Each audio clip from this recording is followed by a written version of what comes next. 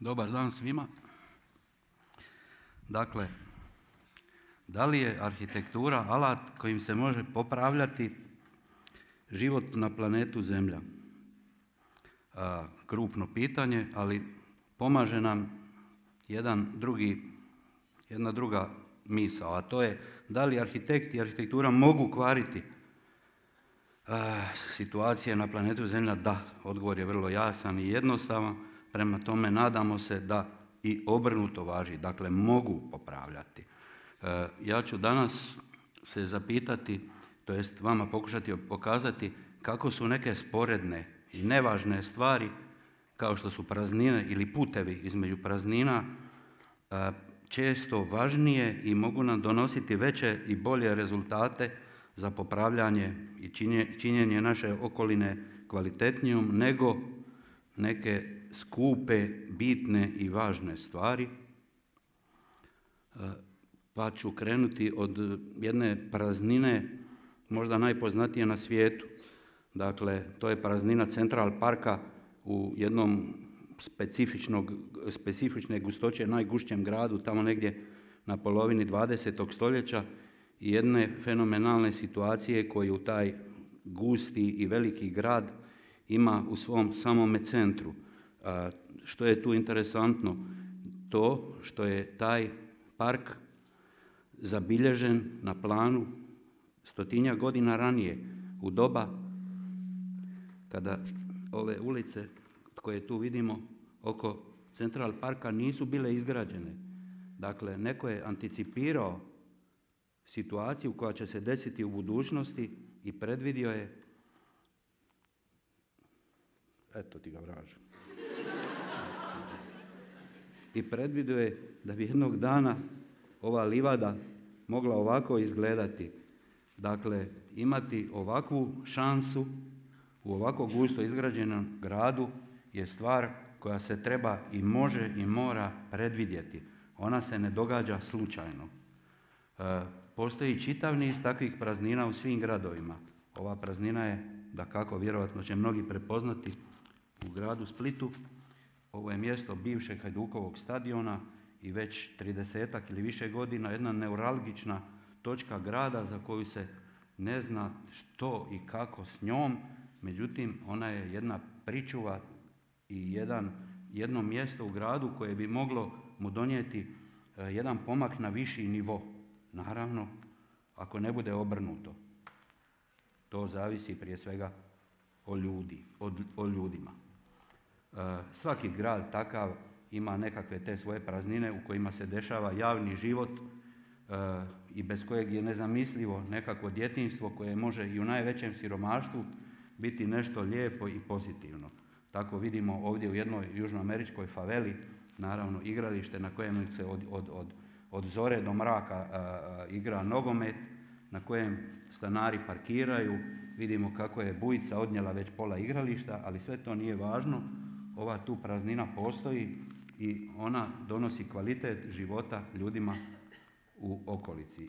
Jedna situacija koju smo mi e, pokušali iskoristiti je bilo ovo prazno mjesto e, u Sopnici, istočno od, od samog Zagreba, na mjestu gdje su bile barake Jugoslavenske narodne armije i gdje je odlučeno da se grade socijalni stanovi. E, znajući ovo prethodno o prazninama i njihovim vrijednostima, odlučili smo napraviti e, stanove koji su inače vrlo striktno određeni po pravilniku takozvane poticajne izgradnje e, i okružiti njima mjesto tako da dobijemo park. Dakle, skromni stanovi sa, izgrađeni sa relativno niskim e, standardom imaju bar jednu stvar. Neko ko tu živi može reći da on stanuje u parku i da svi dnevni boravci gledaju na stabla i na, i na livadu. Vidimo kako smo to ogradili sa cestom i, i stavili parkirališta izvan tih zgrada, tako da se unutar samog ovog naselja mogu djeca slobodno igrati bez straha da bi mogao naići neki auto sve, u, sve u, u cilju da dobijemo nekakvu ovakvu sliku, ako već živim izvan grada, ako već živim u skromnom stanu, ali bar imam park ispred svoje kuće. E, nešto slično smo pokušali i u Istanbulu, e, gdje je u jednoj vrlo ružnoj i, gruboj i asfaltnoj i betonskoj situaciji negdje uz sami aerodrom, dakle vrlo daleko od centra Istambula, e, na mjestu gdje su smješteni i tvornice i nekakvi gigantski shopping molovi i, i gdje prolazi autocesta, željeznica i tako dalje. Dakle, je u jednoj vrlo, vrlo nepovoljnoj situaciji pokušali nešto napraviti što bi je moglo popraviti. To se istovremeno preklopilo sa protestima u kojima je cijeli Istanbul buknuo i borio se, ja bih ga nazvao za jednu urbanu situaciju koja se htjela narušiti. Dakle, urbani Istanbul se pobunio jer su gradske vlasti htjele dozvoliti da se jedan park u središtu grada pretvori u, u, izgradnju, da se u njemu izgradi shopping mall, nešto otprilike kao da se na Zrinjevcu sagradi, ne znam, bila ili slično. I to je, ta eksplozija je srećom urodila plodom. istovremeno mi istovremeno mi predlažemo obrnuto, da se park ponovo naseli u ovo vrlo ružno mjesto u gradu, koje ćemo zatim samo E, da tako kažem, opkoliti sa e, institutom za proučavanje prirodnih katastrofa, prije svega potresa. E, da kako nekakva dimenzija atletske staze je okružila ovaj park, nižu se uredi, kongresna sala, sanitarije, kafići, učionice, mjesta koja simuliraju potrese, poplave i slično. Međutim, sve je to namijenjeno jednoj svrsi, a to je da u tom dijelu dobijemo ovaj park unutar same zgrade, dakle jedan atri, ali nekakvih grandioznih razmjera, da bi u njemu dobili ovu atmosferu u, u kojoj se naravno, ja bi tako mogao to reći, u kojoj se čovjek osjeća znatno bolje nego u onoj izvan ovog parka. Jedan mali jedan mali e, mikrokozmos e, smo uspjeli realizirati i to u Sesvetama. Ovo je dječji vrtić Šeger Klapić. Vidimo ga kao jednu prizemnicu između obiteljskih kuća i nekih malo većih kolektivnih zgrada. E, ono što je bitno i što je nama bilo bitno i važnije od same kuće je bio ovaj prostor u njenom središtu. Dakle, smatrali smo i dan danas smatramo kako je ova praznina i ova livada i oaza u koju se odlaze djeca igrati e, cijeli dan, izlaze, ulaze i tako dalje. E, I važnije nam je bila ova livada od same zgrade dok smo je projektirali. U međuvremenu su tu vrlo stabla, nekoliko stabala koja su ovdje u, u, samom začetku, u međuvremenu su izrasla, tako da ovo dvorište u, u vrtiću je postalo najvažnije i centralno mjesto ove, ove da kako zgrade. jedan mali, jedna mala praznina, međutim nabijena kulturološkom gustoćom, možda najviše u Hrvatskoj je peristil unutar Dioklecijanove palače, e, a ja sam imao sreću da sam tada kao srednjoškolac, dok sam išao ujutru u školu, u školu prošao pored takozvane akcije Crveni peristil. To je bilo 1968. godine i jedna zapanjujuća promjena i nevjerovatna e, mentalna slika se pojavila kada se u takvoj situaciji sa tako jeftinim i sa tako skromnim sredstvima kao što je kanta boje napravilo nešto što je postalo ja bih rekao možda jedna od najznačajnijih točaka hrvatske konceptualne umjetnosti koja se još i dan danas ne može zaobići. E, dok smo radili naš trijenale, odnosno salon arhitekture, hrvatske arhitekture, e, odlučili smo da ga napravimo na trgu Bana Jelačića, e, upravo razmišljajući o nekim takvim situacijama kako se sa nekim malim i jeftinim stvarima i malim koracima mogu činiti veliki, veliki napreci, bar, bar tako mi mislimo, ili smo tako mislili. I uspjeli smo uz pomoć naših sponzora organizirati salon na trgu Bana Jelačića. Nekoliko tjedana je bila izložba hrvatskih arhitekata izložena na otvorenom, tako da sigurno nikad više ljudi nije prošlo kroz našu izložbu koja je uglavnom poprilično elitna i, i, i namijenjena je gotovo isključivo nama unutar struke. Ovim momentom koliko god to možda bilo i naravno bilo i puno ruganja i zafrkavanja, ali naši radovi su izašli doslovno na ulicu.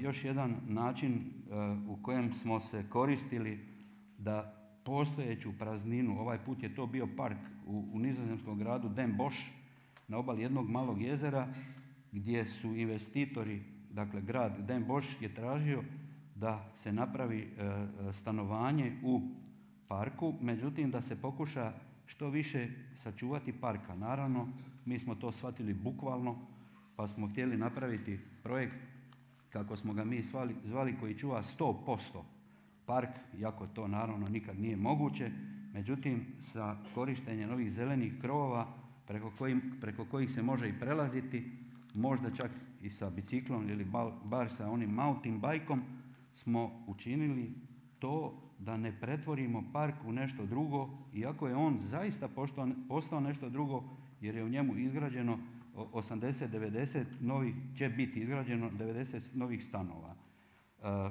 dakle, to je već jedno mjesto na kojem se preklapaju praznine i putevi. E, kao što vidimo, ovi putevi se koriste u smislu da se povezuju dvije točke. E, međutim, one se ne moraju povezivati ni banalno, ni, ni na najjeftiniji, najbrži mogući način, nego ovdje na jednom mediteranskom tipičnom slučaju, da kako ovo je riječ o Italiji, vidimo kako ove rampe koje povezuju dvije različite visine u jednom gradu su ispunjene sa dućanima, kafićima, e, tržnicom i tako dalje i kvalitet te rampe i prolaženja ovim prostorom sigurno je drugačiji nego da oni ne postoje. Jednako tako e, kuće, preko kuća se odavno hodalo i prelazilo i preko njihovih krovova i preko njihovih terasa. Ovdje vidimo hram kraljice Hatshepsut u Egiptu e, i vidimo Pompidou centar u Parizu, dakle jednu ikonu 20. stoljeća i bitne razlike između njih možemo reći da i nema. Dakle, putevi ne moraju biti samo problemi kao što vidimo ovdje, ovo je iz Primoštena slučaj. Dakle, imamo jedan put koji je obilježen ljudima, dakle koracima ljudi koji odlaze se pokloniti mjestu gdje su njihovi najdraži poginuli, ovo je na Kornatu, radi se o, o, o, pogibi 12 vatrogasaca koji su išli gasiti požar.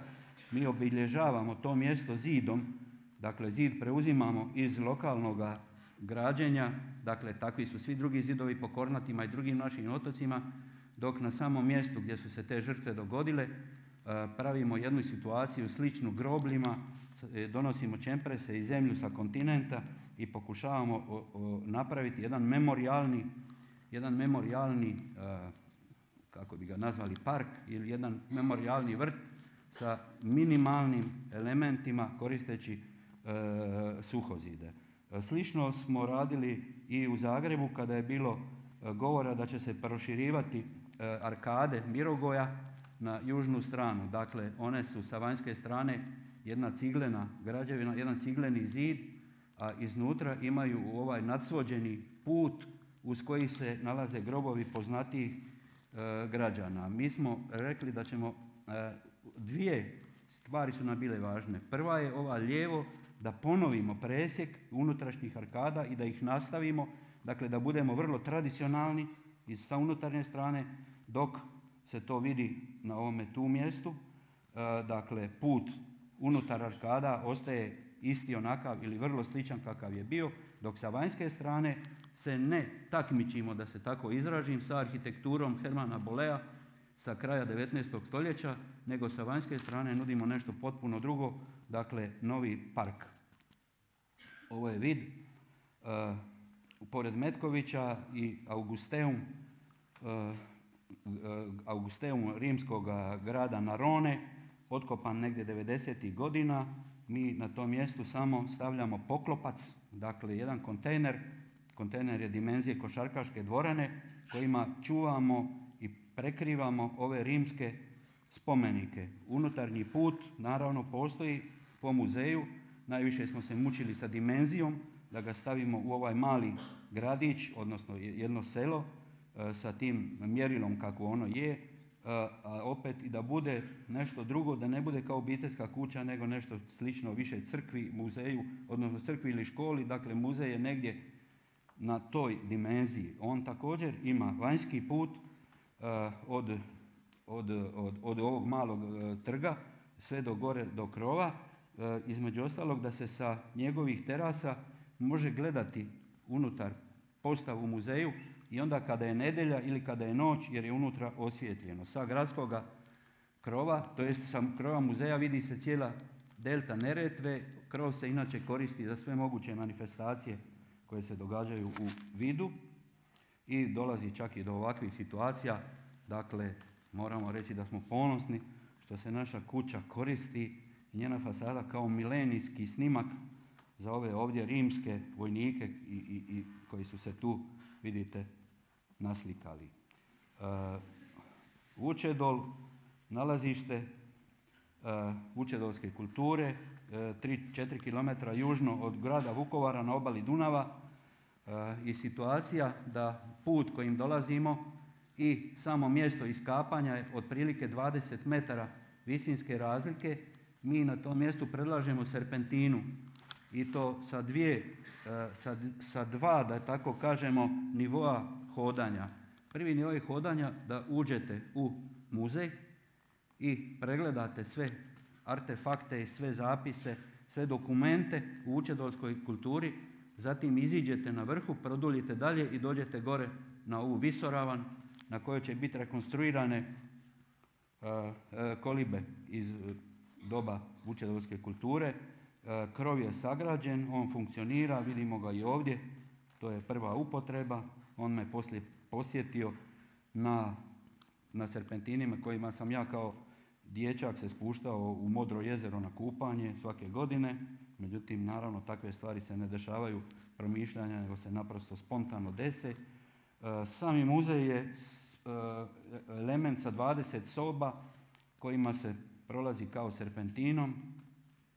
E, to će nekako uskoro ovako izgledati sve je spremno, mislim da će biti ove godine otvoren i moja, kako bi rekao, teza, moja teza o sporednim i nevažnim stvarima u arhitekturi je u stvari lažna jer proizlazi da nema sporednih i nevažnih stvari.